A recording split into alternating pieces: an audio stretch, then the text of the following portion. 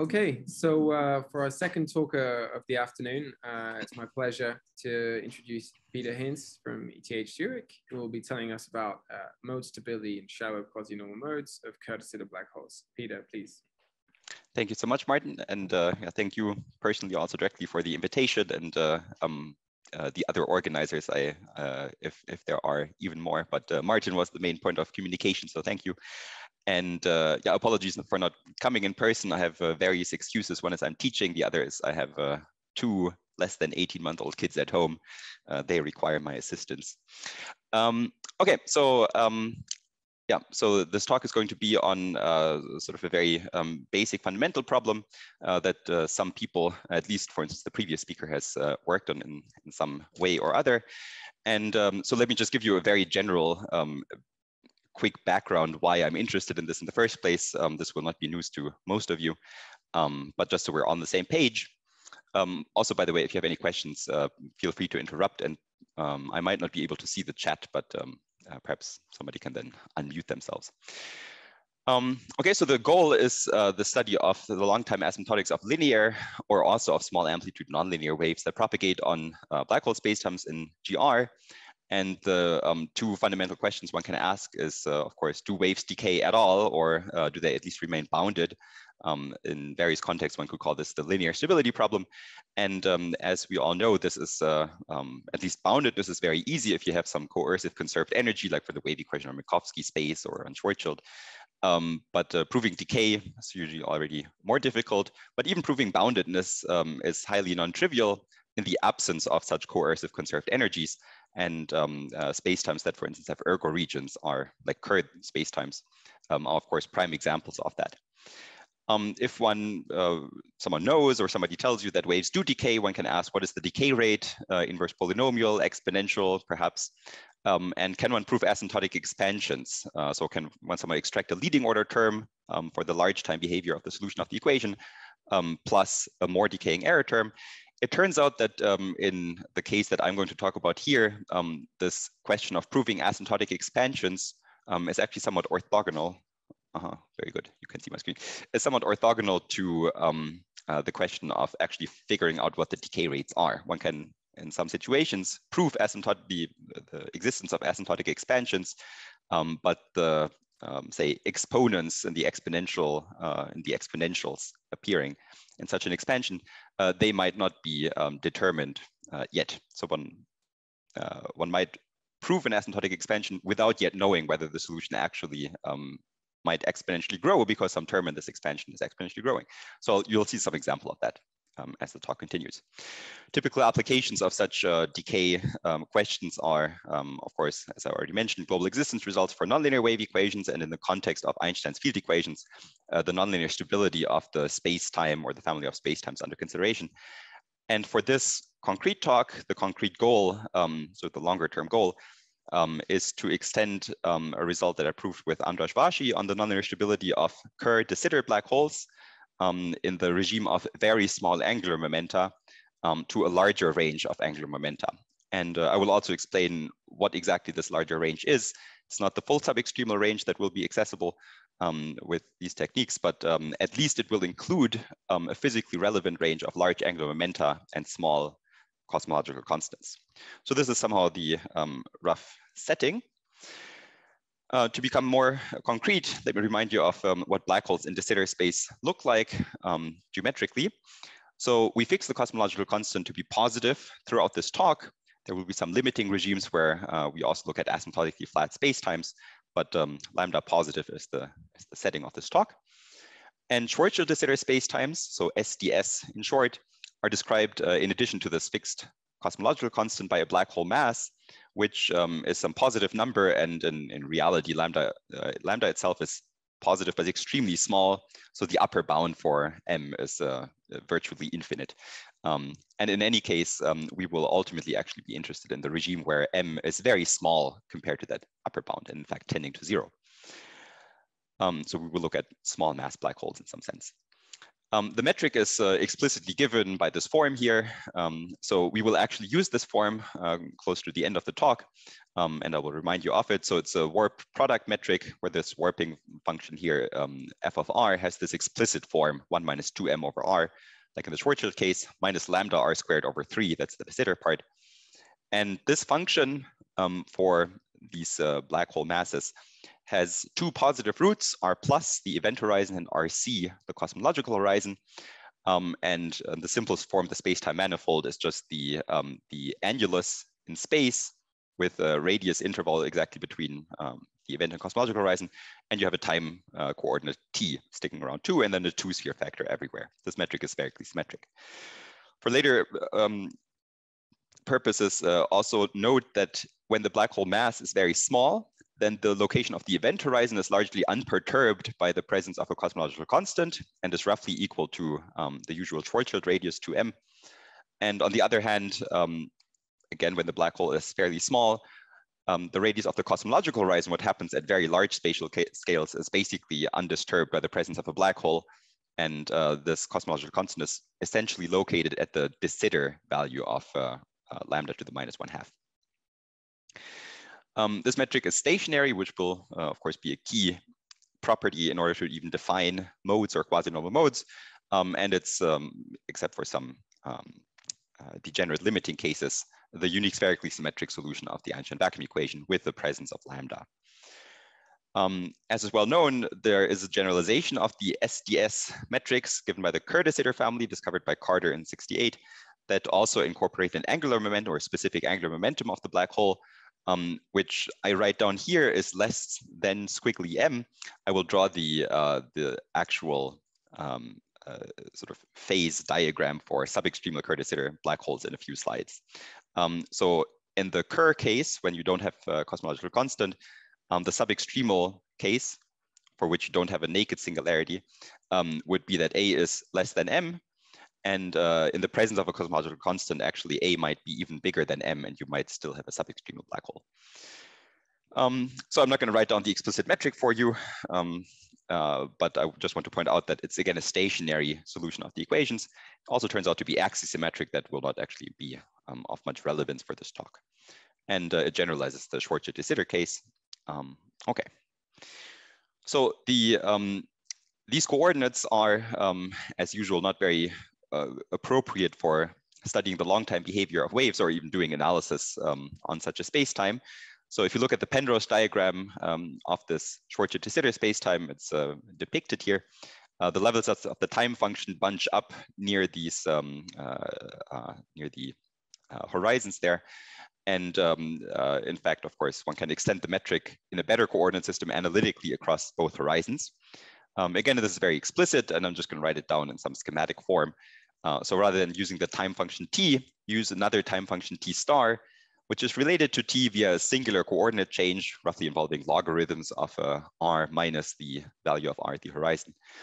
Um, and the point then is that the level sets of this function t star are smooth and uh, transversal to the future event and cosmological horizon. Um, so uh, transversal to this and this horizon here. And uh, the metric in these new coordinates, if you do it right, extends analytically across the horizons. And here I'm just for the sake of definiteness, um, in, uh, enlarging the space-time to uh, a half times the radius of the event horizon and twice the radius of the cosmological horizon. But of course, these one half and two are arbitrary numbers less than one or bigger than one. And from now on, uh, I will exclusively focus on um, this future development um, or a part of it of this uh, level set t star equals zero. And uh, I will be interested in the future evolution of waves with initial data posed at t star equals zero. Okay, so the domain is now omega is this um, uh, future half line in time, or this new time coordinate t star, across um, this um, spatial manifold x, which is actually a bounded annulus. Okay, so um, this is the setting. Uh, so it's bounded because you have a positive cosmological constant. Otherwise, it would, of course, be asymptotically flat.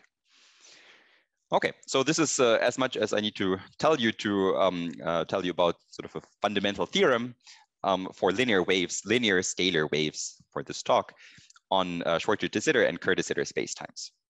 Uh, namely, we look at the initial value problem for the wave equation, and uh, we take the initial data to be smooth Um, okay, so phi and the time derivative of phi at time t equals zero are smooth.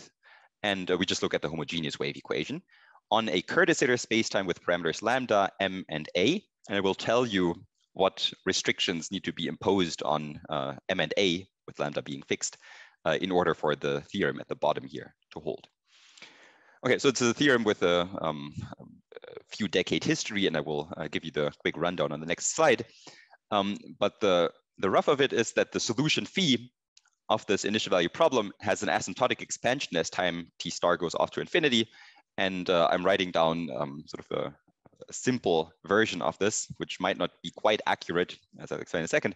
Um, namely, uh, the solution phi of this wave equation is a function of time t star and the spatial coordinates x um, has an asymptotic expansion into um, harmonic oscillators with complex frequencies. So this might be a priori, these might be exponentially growing or decaying or perhaps uh, non, not growing or decaying at all, but oscillating, you know, whatever complex numbers you might have for the omega j's. Um, okay, but these have uh, this particular exponential time dependence times some functions of uh, just the spatial variables. So the solution is a superposition of such, um, if you're lucky, damped harmonic oscillators in time with coefficients depending on space in some manner. So I'm ignoring multiplicities here. That's why this is uh, not quite accurate probably, uh, because you might actually have uh, I mean, uh, eigenvalues here, omega j's, resonances with higher multiplicity or some Jordan blocks, in which case you would have uh, also polynomials in time and t star floating around. Um, but I'm dropping them for the sake of simplicity here. Okay, so what do I mean by this squiggly sign here? It means that for suitable constants, and again, that depends on the, um, on the theorem on the paper uh, that I will refer to, for suitable real number C, um, you can subtract from the actual true solution phi a truncated sum where you only sum over those um, uh, omega j's whose imaginary part is bigger or equal than minus c, and uh, you subtract that truncated sum, and the remainder term is supposed to be decaying uh, like e to the minus c t star for suitable c. Ideally, C should be positive because it would say that uh, the solution phi is given by some expansion up to exponentially decaying terms. That's a good starting point. Um, okay, but uh, depending on the theorem, the value of C might be different. Just for the um, uh, for the quick mental arithmetic here, uh, the minus i times uh, omega j for such omega j's leads to this exponential term exactly not quite being uh, like e to the minus ct star decay. Okay, so in other words, the terms that I allow for in the sum here are those that do not yet, or perhaps borderline, do not yet have uh, the e to the minus ct star decay. Should also point out immediately that um, uh, there's a chance when c is big enough that the sum actually has infinitely many terms. So there are infinitely many of these uh, uh, omega j's, which will be the subject of the talk, um, with imaginary part bigger or equal than minus this large constant c. And then uh, you also have to concern yourself with proving that this, uh, this infinite series here um, is actually convergent in some function space. Okay, so what are now the concrete settings uh, in which this theorem has been um, obtained? So here, just restate the, the theorem uh, just once more for your reference. Um, the first proof of this full expansion actually for any value of C was given by Bony and Hafner, um, but it was restricted actually to the black hole exterior region. So not up to the horizons, just in the black hole um, exterior strictly. And um, what they used in particular was um, work by Sá Barreto and Zworski from uh, the late 90s that gives some information about the omega j's, especially the large uh, real part omega j's, um, so that they can control this infinite series. Um, and Sá Barreto, Melrose, and Vasy um, partially extended this result by Bony and Hafner and obtained this expansion up to the horizons, including the horizons, uh, but only for small positive c. So I will also recall the Sá Barreto-Zworski result um, in, in, a slide or two.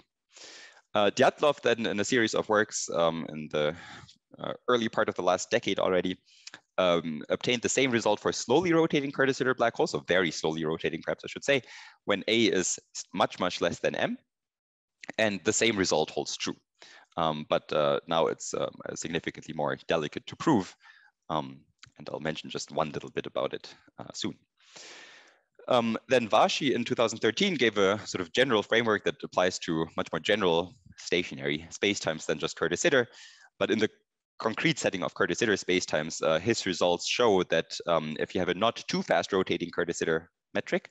So where the angular momentum is less than roughly 0.866 times the mass, and there's some extra um, technical hypothesis, um, then you have this expansion um, for some fixed constant c positive. Okay, so you get an asymptotic expansion, whether or not the terms in this expansion are exponentially decaying or bounded is left open, but you do have an expansion up to exponentially decaying error terms.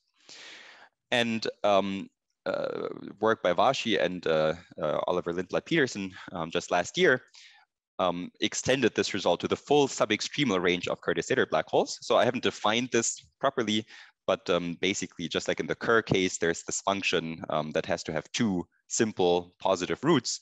Um, that uh, you know this condition gives rise to exactly the subextremality condition. In the Kerr-de Sitter case, there's uh, again a similar function that appears as a metric coefficient, and that has to have the appropriate number of positive simple roots. Um, okay, and that gives you a condition on what it means to be subextremal. Um, okay, and so what they prove is again this expansion for just some fixed number c, some uh, positive fixed number c, and the bound on this number c is uh, determined essentially by some properties of the trapped set in this case. So it's in principle explicit, uh, more or less explicit, but um, it is definitely not um, a result for arbitrary c. So in other words, um, if you take this Petersen-Vasy result, then uh, the only thing that's left to be done um, in order to really um, finish off this linear wave equation on Kerr-de Sitter um, as far as long-time asymptotic behavior is concerned, would be to extend the result to um, all C. Okay, and that would require um, detailed information about these quasi-normal modes omega j, um, even in this full subextremal range, which seems to be hard to come by. I also want to mention uh, two more works that are um, not sort of inspired by this uh, spectral theoretic um, picture. So there's one paper by Mavrogiannis uh, just from last year in the Schwarzschild case, um, which uh, establishes exponential decay to constants um, using uh, a vector field method uh, rather than um, sort of spectral theory. Um, and so in this case, you have exponential decay with some small positive rate to constants. Um, and uh, Allen Fang has work in progress actually on the nonlinear stability of the Kerr-de um, uh, family of metrics, again, in the very slowly rotating case. Um, and so he also has some uh, results that are related to this exponential decay here. Okay, and uh, also there's, um, so when I mentioned the vector field method, um, the, the first result there was um, super polynomial decay to constants uh, by Dafermos and Rodnianski. Okay, so this much for um, uh, this theorem. And now the main question, as I said, um, in order to determine whether you have decay rather than merely an expansion into mystery terms, is to figure out what these omega j's are. And so um, these omega j's are the resonances or quasi-normal modes of the Kerr-de Sitter black hole, and they do not depend on the initial conditions, but they only depend on the space-time, so on the black hole parameters. Um, so that's why I label the collection of these omega j's Q and M of lambda, M, and A. And uh, you can define that set um, very concretely here, namely it's the set of those complex numbers, omega, for which there exists a mode solution which is smooth up to and uh, uh, across both horizons. So that's some of the boundary condition, uh, two boundary conditions that need to be satisfied, and that picks out a discrete set of frequencies omega. Okay, and so here I just uh, reminded you what it means to be a mode solution, namely exactly um, a solution of the wave equation um, of this decoupled form. And if you want to define them analytically or somehow, you know, uh, somehow find the set in some sense, um, there are uh, sort of two main approaches very closely related. One of them is um, to um, look at the meromorphic continuation of some spectral family inverse, some resolvent. So basically you take the wave operator, which is time translation invariant. So the first thing that you should think of um, is to take the Fourier transform, so replace time derivatives by multiplication by a frequency omega. Um, and then you can um, show um, that uh, this resulting spectral family um, can be inverted on appropriate Sobolev spaces. Um, and another approach pioneered by Warnick in 2015 is that uh, you can define these resonances omega actually as honest eigenvalues um, of some uh, solution semi-group to the wave equation. Um, but they give the same sets. Okay, so what is now known about the um, actual set of quasi-normal modes of Kerr-de Sitter spacetimes? Um, okay, so and what is desired. So the, the simplest thing that you might desire is mode stability, which is the statement that either all these quasi-normal modes omega j have strictly negative imaginary part, that would correspond to uh, the corresponding term here being exponentially decaying, or um, if it doesn't have negative imaginary part, it should just be the um, uh, omega j equals zero, corresponding to a constant in time term. And in that case, uh, you would also like to say that the corresponding aj of x can only possibly be a constant. Okay, so that would uh, imply then mode stability would imply um, exponential decay to constants of solutions of this linear scalar wave equation.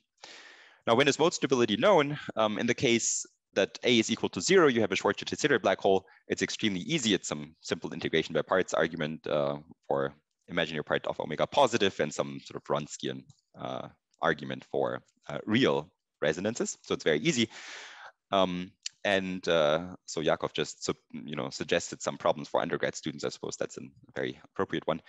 Um, it is also known for very small angular momenta via a perturbative argument. So um, that was um, concretely written uh, down in the papers by Dyatlov and Vasy that I mentioned.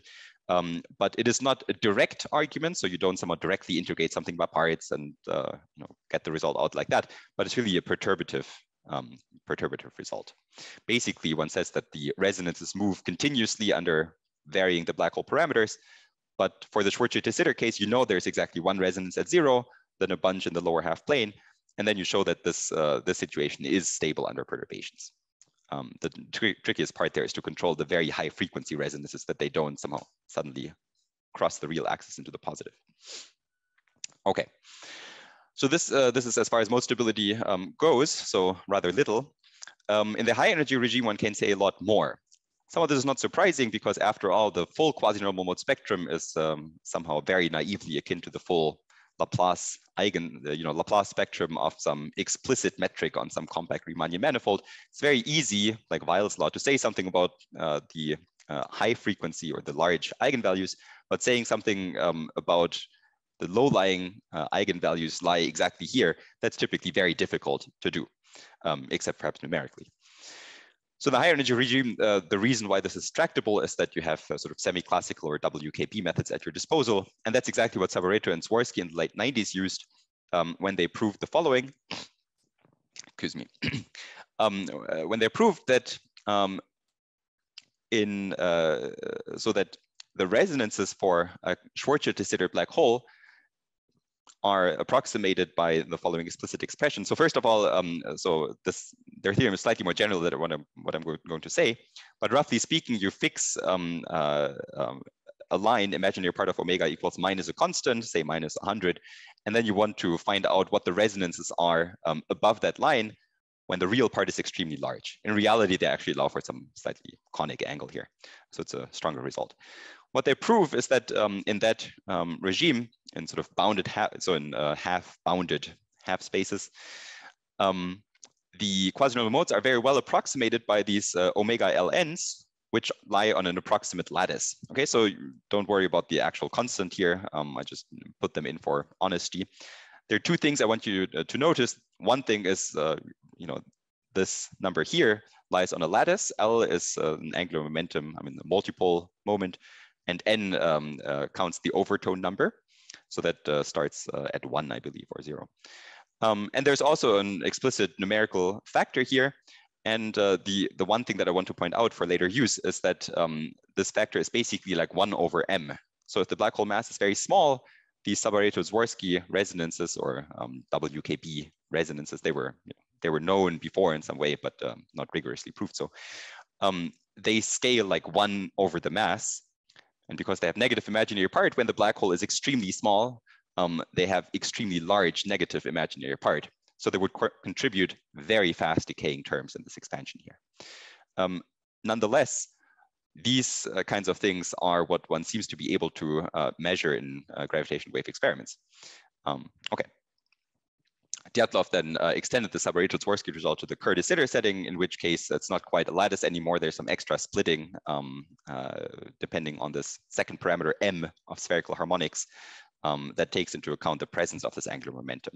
So it's a very precise formula for the high frequency resonances.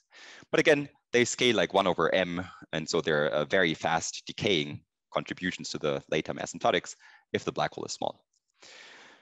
Okay, so this is the high energy regime, and in general, uh, what is known by the result by Petersen and Vasy is that you have um, uh, actually uh, only finitely many potential enemies to exponential decay. So at most finitely many quasi-normal modes lie in the, uh, in the closed upper half plane. We already know there's one at zero corresponding to constant solving the wave equation, um, but this result by Petersen and Vasy does not yet rule out the possibility that there might be, I don't know, three quasi-normal modes with positive imaginary part for some Kerr-de Sitter parameters.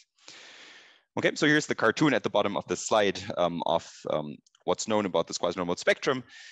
It's uh, so Petersen and Vasy um, uh, includes the statement that um, in the upper half plane for large real parts, there are no quasi-normal modes. What's completely trivial to show is that for sufficiently large positive imaginary part, there are no quasi-normal modes because that just amounts to the statement that solutions of the wave equation obey some very terrible but uh, sort of fixed exponential upper bound in time. And that follows by um, uh, completely naive energy estimate. Okay, but there's still the possibility, as I said, that um, uh, you have uh, uh, quasi-normal modes in the upper half plane, and you can also be a little bit more ambitious and actually ask, can you say something about uh, resonances sort of in some large um, bounded region here as well? Okay, so um, again, why should one care about this? One thing I already mentioned that if you have actually exponential instabilities, even if it's just a one-dimensional one, so just a single quasi-normal mode in the upper half plane, that would be disastrous for nonlinear problems because then already the linear problem exhibits an instability, so the nonlinear one is going to be even worse. And uh, sort of a fun motivation uh, for me, I suppose, was that uh, Maciek Zworski has a review article on resonances mostly concerned with hyperbolic dynamics in 2017. And um, uh, there was a five-year window in which one had to prove some conjectures. One conjecture was mode stability for Kerr-de Sitter black holes in some large-ish uh, parameter regime. And uh, before the five years were up, I decided to um, quickly prove this theorem. And uh, now I get a free two-star dinner at some point in the future. Okay, um, good. So what's the theorem? Um, that I proved. So this is a paper from uh, on the arXiv from uh, late December 2021. And the statement is the following. So we fix um, the black hole, uh, sorry, the cosmological constant to be uh, positive, and uh, you fix the angular momentum to mass ratio to be some number strictly less than one. And then the statement is when the mass is sufficiently small, then mode stability holds for the Kerr-de Sitter black hole with parameters lambda, m, and a. So that's number one. And number two is that uh, quasi-normal modes um, so there's actually more information you can obtain, namely quasi-normal modes in uh, a half space, imaginary part omega is bigger than minus a constant for any value of the constant c, um, lie approximately in this very explicit set, namely uh, you have this uh, uh you know, equally spaced numbers um, along the negative imaginary axis. So it's not just actually that they lie in this set, so it's not an inclusion, but it's actually uh, also sort of the other way around. Every number in this set here is actually the limit of a sequence of quasi-normal modes for a Kerr-de Sitter black hole with these kinds of parameters for sufficient, so as m goes down to zero. Okay, so you actually have sort of continuous families of quasi-normal modes that uh, converge to any um, desired element of this set here. Okay, so um, we have convergence to the set, and in fact, the theorem states uh, even more that you know, namely have convergence also of the corresponding mode solutions in an appropriate topology. So smooth topology uh, basically away from uh, r equals zero because the black hole is disappearing as the mass goes down to zero. So you want to stay away from r equals zero, but then you have convergence of mode solutions uh, away um, from r equals zero, um, also including with multiplicity and so on. So it's uh, sort of the full thing. Okay, so here's a picture um, of um, what this does. Uh, so again, um, lambda uh, being fixed and positive, you pick, uh, you pick any uh, half space here, any imaginary part omega equals a constant line and look above.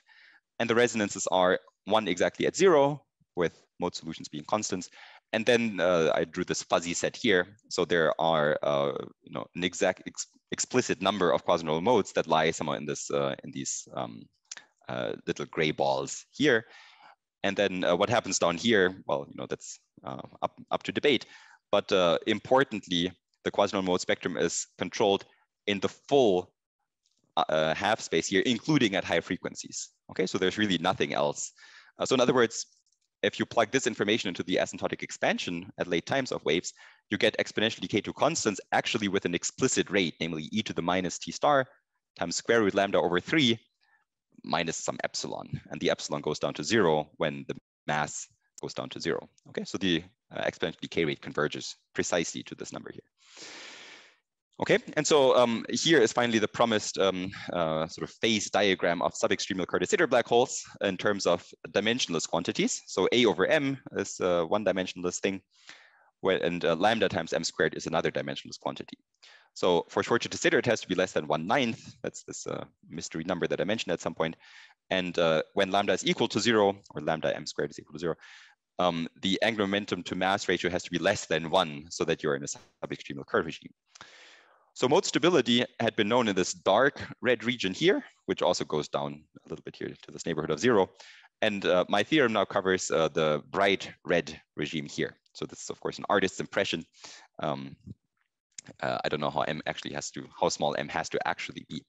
Uh, one sort of uh, curious thing um, you might notice is that um, right here at this extremal Kerr point, uh, my set um, actually you know, doesn't include a neighborhood of uh, a full neighborhood of the A over M axis here. Um, and I'll explain the reason why um, that is not possible yet uh, to obtain later.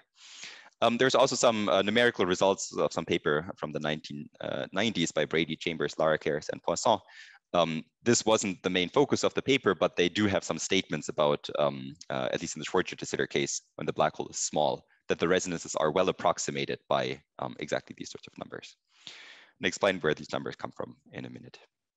Okay, so I suppose this is a good point to ask questions if there are any. Okay, so um, hoping that I'm sharing my full screen, um, I'm going to attempt to show you some video here.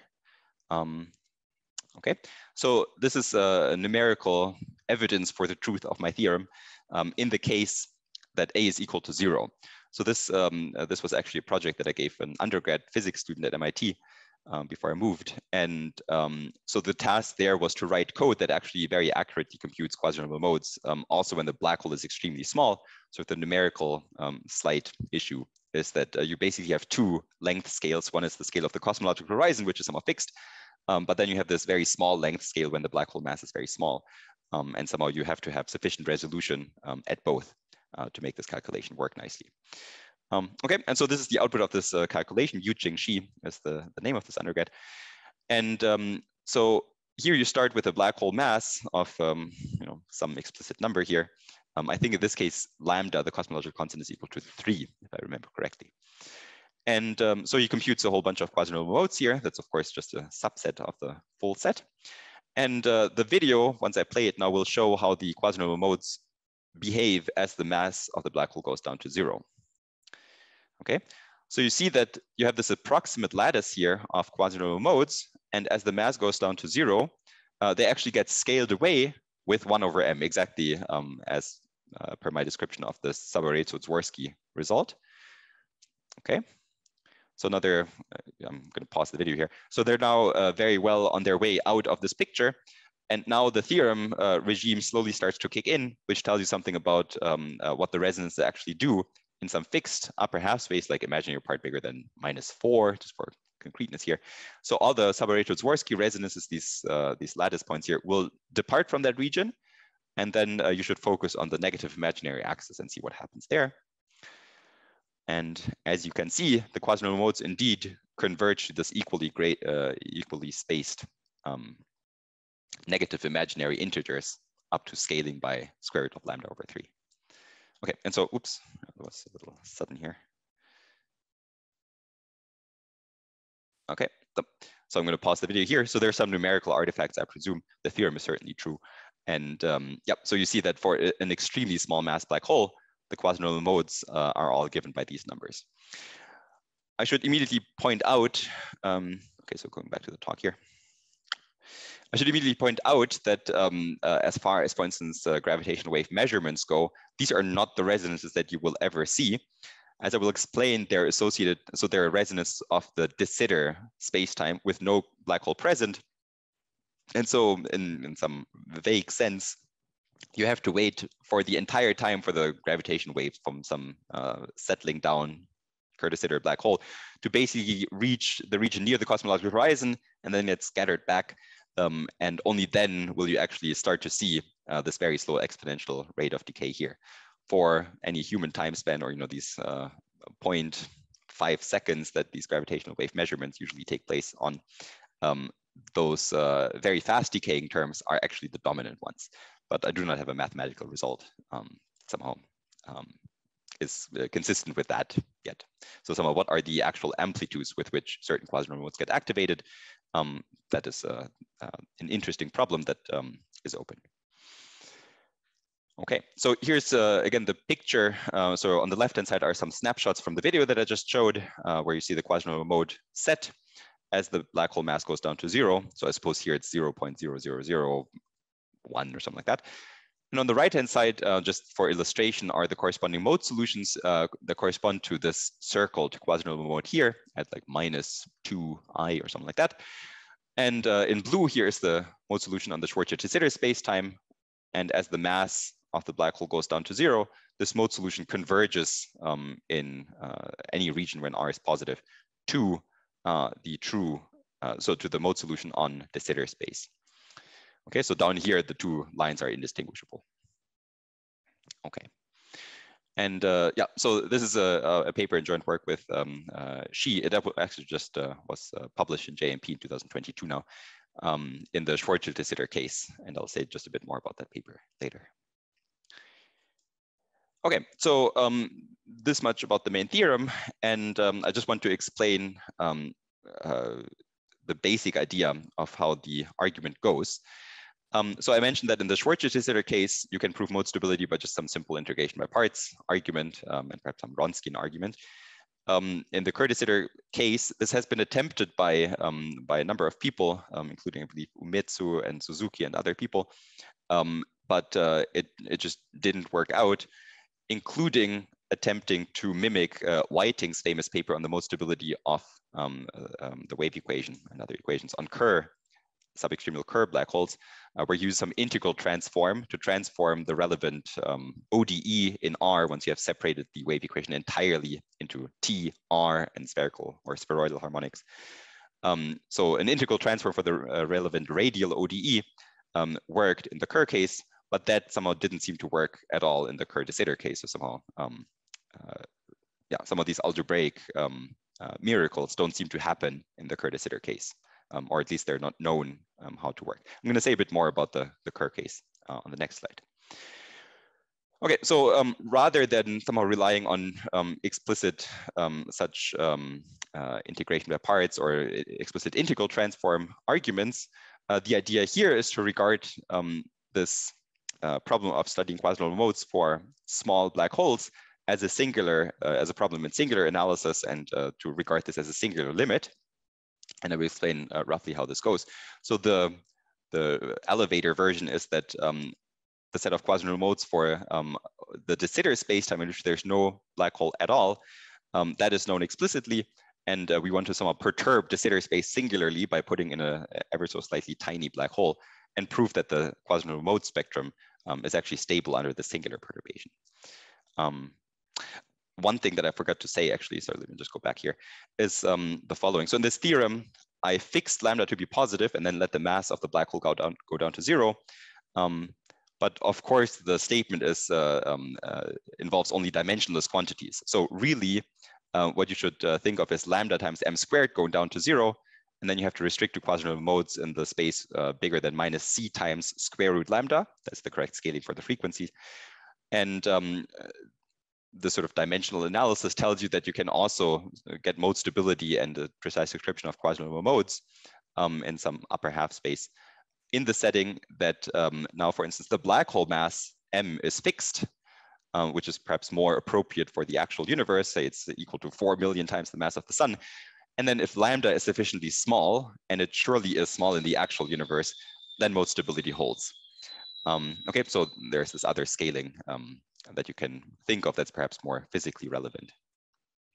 Okay, so coming back here to the singular limit, um, I mentioned it many times already, and now I'm going to make it concrete um, using the form of the metric. So let's just look for um, notational simplicity at the Schwarzschild de Sitter metric, which uh, I write down here again explicitly. And uh, remember that it has two horizons um, at roughly r equals 2m, and cosmological horizon equals roughly 1, because I'm setting the cosmological constant to be equal to 3.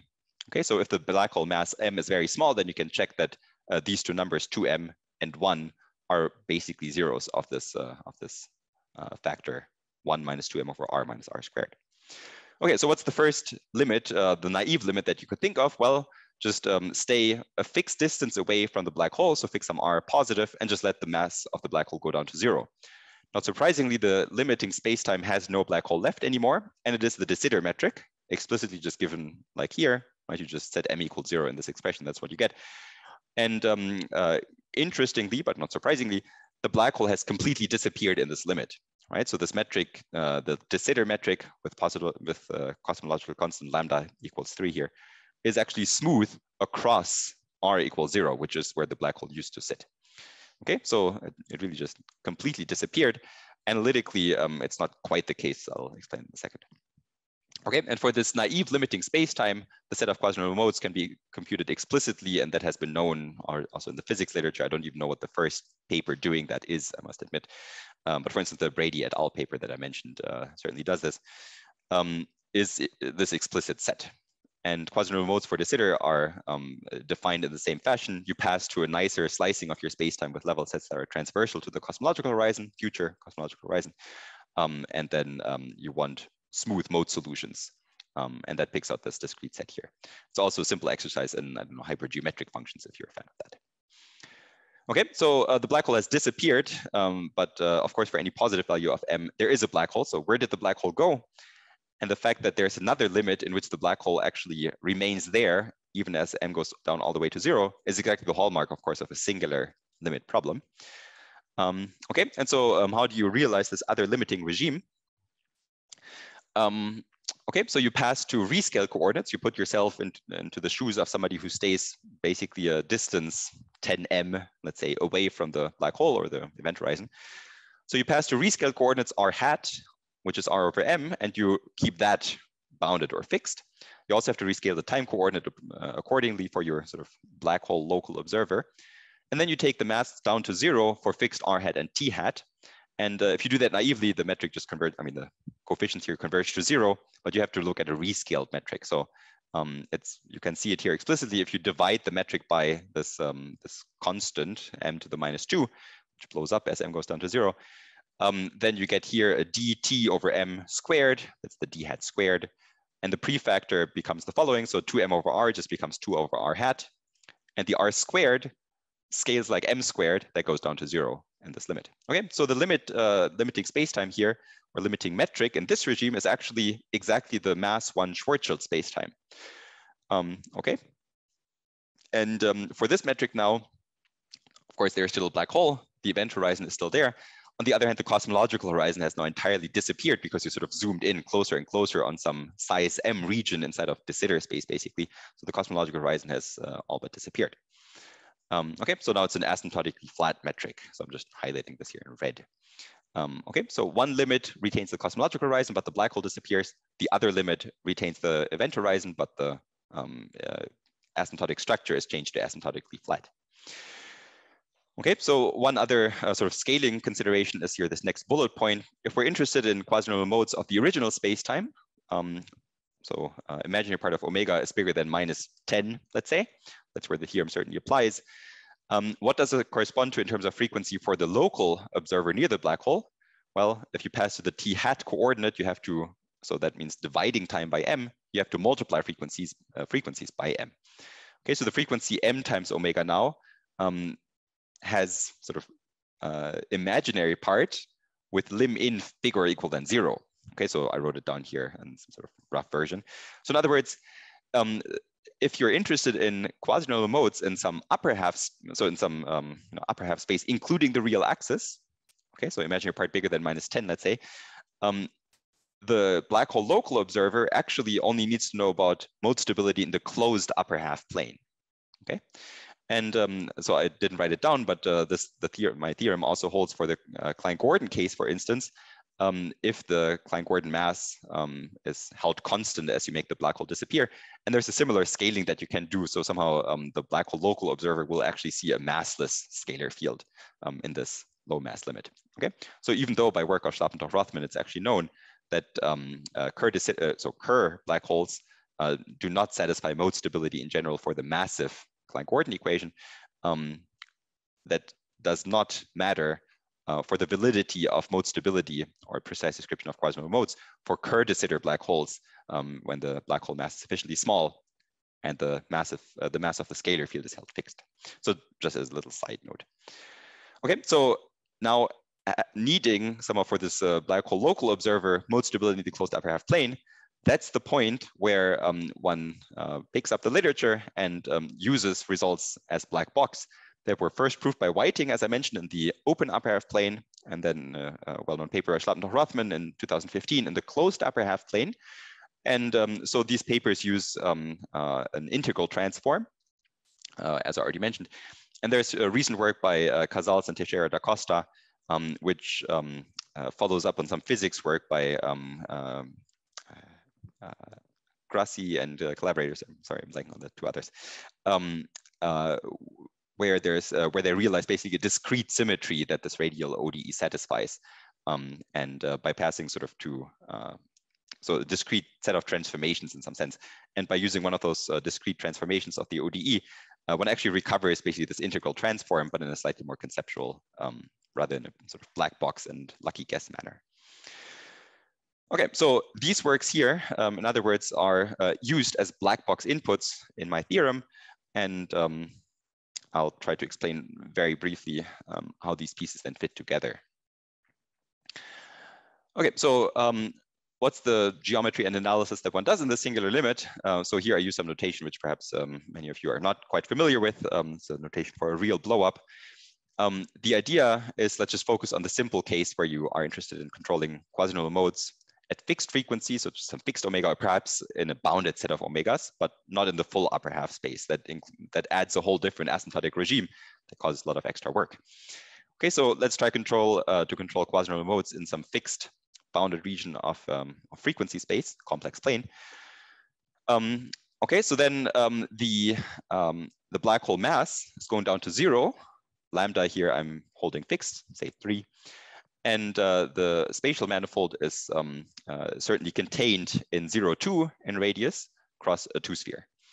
And um, now remember that the event horizon actually scales with m. So as m goes down to 0, r plus behaves like 2m. So it would also go down to 0. And uh, somehow you wouldn't be able to resolve exactly the presence of a Schwarzschild black hole of mass 1 in some rescaled limit. Okay, so what this uh, what this notation here accomplishes is what the picture depicts. Namely, you basically introduce at m equals r equals zero at this uh, interesting limiting regime where the uh, sort of mass one Schwarzschild black hole somehow appears.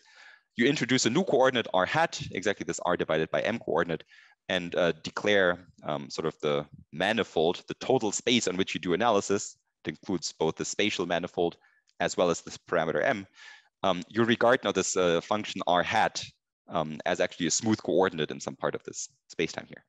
Um, okay, so I hope the picture explains this uh, reasonably well. Um, you can think of this uh, blow up as introducing polar coordinates around m equals r equals zero.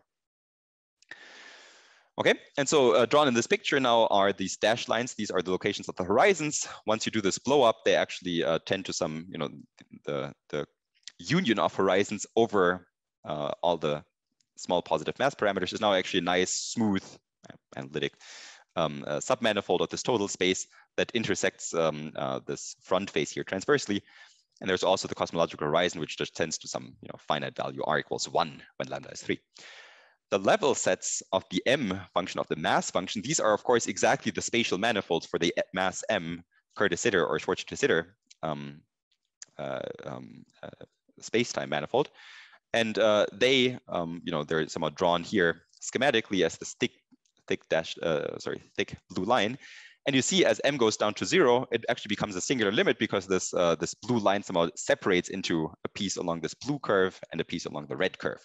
Okay, so you exactly somehow pictorially see here the two uh, distinct limits. Um, okay, so um, analytically that one, uh, then what one does is that one studies the spectral family so one takes, uh, I already mentioned this before, one takes a de metric. I'm dropping uh, uh, lambda and a here from the notation because lambda is fixed and the angular momentum a over m I'm also keeping fixed, less than one. And um, okay, so you replace basically time derivatives by multiplication by minus i omega. You get some family of operators depending both on the mass and of course on this frequency omega. And um, you regard this spectral family here, not as somehow an individual operator for each m, but actually as one single differential operator on this total space. Of course, it's sort of a horizontal operator, only ever differentiates along the spatial directions, but if we regard it really as one single object, um, uh, it's sort of the, the right perspective to um, also keep track of its singular degeneration. Okay, and so then um, the name of the game is to prove uniform a priori estimates for the spectral problem here, and uh, ideally show then uh, you know these uh, and ideally estimates that actually uh, entail the injectivity of this operator here. And um, you have to invert two sort of uh, you know that involves estimates for two model problems, um, obviously. So one is the um, uh, the model problem on the Schwarzschild-Kerr space-time here, um, where you have to use the mode stability or some quantitative version of mode stability, some estimate version of this. Um, so that's something that you have by virtue of the results that I just quoted. And you also need to um, use the invertibility or quantitative estimates for this de Sitter limiting problem. And of course, those estimates hold if and only if omega is not a quasi-normal mode. Okay, so in other words, if omega is not a quasi-normal mode, then you can show that uh, for small mass, um, omega is still not a quasi-normal mode of the small mass Kerr Sitter or Schwarzschild Sitter metric. And uh, in order to do the other way around, so if omega is a quasi-normal mode, prove that you have nearby quasi-normal modes for small mass black holes. Um, that's done using uh, some sort of standard Rouché um, theorem trick. Okay, so let's see. Still have a few minutes. Um, Okay, so I'm just going to say um, one more explicit thing uh, about this analysis here. So one extra caveat that I just want to mention is that analytically and also geometrically in this um, uh, in this total space picture, the black hole has not quite entirely disappeared uh, um, from the de Sitter perspective when m is equal to zero, because you see here that somehow um, there's actually, if you cross the whole picture with the two sphere, there's actually, um, you, you, have sort of artificial polar coordinates uh, around r equals zero. And uh, so that analytically is some sort of conic singularity that you have to deal with. And um, um, okay, so that's one thing. Um, okay, and then uh, the function space on which you do the uniform analysis are exactly adapted to um, capture correctly the two limiting regimes. So when you're far away from the black hole, you just use d by dr to measure regularity. Close to the black hole, you measure with d by dr hat. Um, and so um, there's actually a uniform way to regard this, namely r d by dr, and of course spherical derivatives. Um, okay, so you can set up sort of some uh, simple-minded function spaces um, uh, in which to do analysis. And you also have weights in these two limiting regimes. So um, if you're interested in this sort of sim, uh, singular analysis, um, uh, I encourage you to have a look at this paper with Xie uh, that just appeared in JMP, which is the analysis for the Schwarzschild Sitter case um, uh, in the case that you actually look at fixed spherical harmonics, and it's just an ODE problem in this case. Okay, so and I'm not going to say anything about the high frequency regime here. Okay, so what's the outlook? Um, the proof strategy is very flexible. And so um, in particular, it should apply with minimal changes to the Teukolsky equation, but that's not written down. So I shouldn't say it's true, um, but it should be true. And in that case, you need mode stability for the corresponding sub-extremal Kerr limiting problem. And uh, so for various spin uh, uh, S over two or spin S, whatever, um, uh, wave equations, this was proved by uh, Andersson, Ma, Paganini, and Whiting. Another interesting question is what about the full sub-extremal range for Kerr de Sitter? So the full full range, you know, the full picture is probably unattainable, at least um, unless one finds some explicit integral transfer, or something of the kind. Um, and this limiting analysis that I've uh, talked about um, does not actually give that either in a neighborhood of lambda equals zero, because sub-extremal Kerr de Sitter parameters could limit to extremal Kerr parameters. And uh, unless you have some quantitative control of that limit, um, uh, you know you cannot extrapolate from that. So um, so there are some references here for uh, ongoing work on extremal Kerr and mode stability, for instance, was proved by Teixeira da Costa. And as I mentioned, the long-term goal is to prove the nonlinear stability of Kerr de Sitter black holes in this almost full sub-extremal range um, covered by the theorem that I uh, painted in bright red um, in the middle of the talk. Okay, um, with that, I thank you for your attention and I will be happy to take questions. Thank you. Let's thank Peter.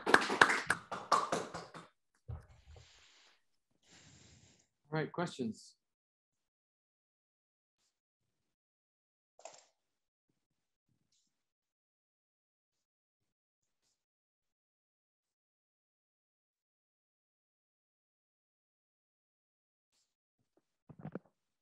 Yes, Buzz. Yeah, um, yeah. So thanks for a very interesting talk. Um, um, so I didn't. I mean, there were lots of things I didn't understand, but um, could you uh, could you explain again the situation with the um, I mean, what, what's what's known or what and what's expected concerning the mode stability in uh, in the Kerr de Sitter case? Mm-hmm.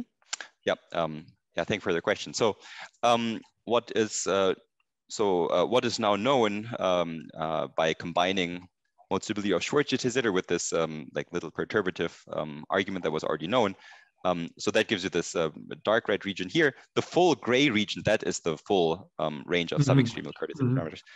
And uh, the red region is now what uh, my theorem uh, gives you mode stability for, um, and you know actually more information. So um, even if mode stability is somehow proved by magic means in the full sub-extremal range, my theorem actually still gives more information than that uh, because it tells you also about quasi-normal modes in the lower half plane. But um, okay, so that's a little. Thing. But but for the same region of uh, of parameters, or yeah, exactly, only for this uh, for this red mm -hmm. region here. Mm -hmm. So in other mm -hmm. words, if somehow uh, somebody comes along and proves mode stability, say in the full sub-extremal range, so in this full um, uh, quadrangle yeah. here, um, then uh, um, I I wouldn't know uh, about these shallow quadrangle mm-hmm. modes um, either. So I really only have all this information in this red region and nowhere else. Mm-hmm. So as far as I understand, and, and the this, so you're saying that you're saying that this there's there was some work by this uh, Rita Teixeira, the, the Costa and, and collaborators, uh, and I mean I, it wasn't clear to me what if that seemed like it it was a partial result. So that's that's also what you're saying, right? So it's um, uh... no. So their result doesn't actually. So it gives a new proof of uh, mode stability for Kerr. So when lambda is equal mm -hmm. to mm-hmm. zero, but as soon as you have uh, lambda positive, their result um, does not actually um, imply mode stability. So um, they uh, basically obtain. So I would have to look up the exact detail. But um, uh, for um, uh, so they separate. You know, they they ultimately look at uh, this radial ODE and there are all kinds of parameters L and M and so on floating around. And um, for any value of, uh, so when the black hole rotation A is non-zero and lambda is positive, there exists for um, all L's or M's, I would have to check again, an open interval actually even on the real axis where their theorem um, doesn't say anything. Okay, so what one can prove mm -hmm. with integration by parts tricks and so on um, is uh, that there are no modes, uh, even for the Kerr de Sitter case, full sub-extremal range, um, except possibly in some uh, you know fairly explicit uh, set that in, involves uh, so that contains an open interval on the real line or actually an infinite union of such open intervals and also mm. whole large swaths in the upper half plane so they do not have uh, so what their result actually so, does so it's not the full result in any case no not not at all so yeah. what their result yeah. does okay. do is that it shrinks the size of the intervals for which uh, mm. one is ignorant by a little bit but it doesn't shrink them down to 0 mm-hmm. There's a okay, chance that one can somewhat tweak their argument to somehow get a sharper result, but um, it's certainly not mm. clear to me. No, I mean, it, um, what what would be nice is to have some argument like in the uh, some um, argument like in the in the mode stability uh, proof involving, uh, but one that needs some new ideas. Yeah, exactly. So I remember because talking the nature to of the equation is quite different. Yeah. Yeah, exactly. So um, I remember talking to Yakov some many years ago. I mean, he's clearly moved on to more interesting things, but um, uh, yeah, he uh, I think he had looked at this a little bit. And as I said, there are um, a number of the, the Japanese mm. teams, for instance, that have looked at this and also sort of general transformation theory for the Heun equations. And it just seems like uh, nobody was able to make any real headway yeah, there. Need some new ideas. So, yeah. Yeah. Okay. Thank you.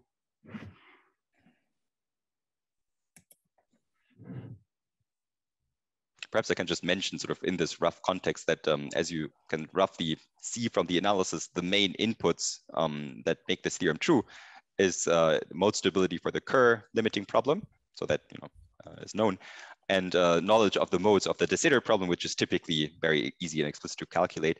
But it doesn't mm -hmm. actually matter at all um, that um, one has exact Kerr de Sitter black hole spacetimes for any positive value of the mass. So somehow any, um, you know, any family of metrics, stationary metrics, that have the correct limiting behavior um, uh, are subject to this theorem. Um, of course, I didn't specify exactly what that means now, but uh, it, it is not important for this theorem to hold that Kerr-de Sitter spacetimes are, you know, that you have complete separability of the wave equation and so on. It doesn't matter. Okay.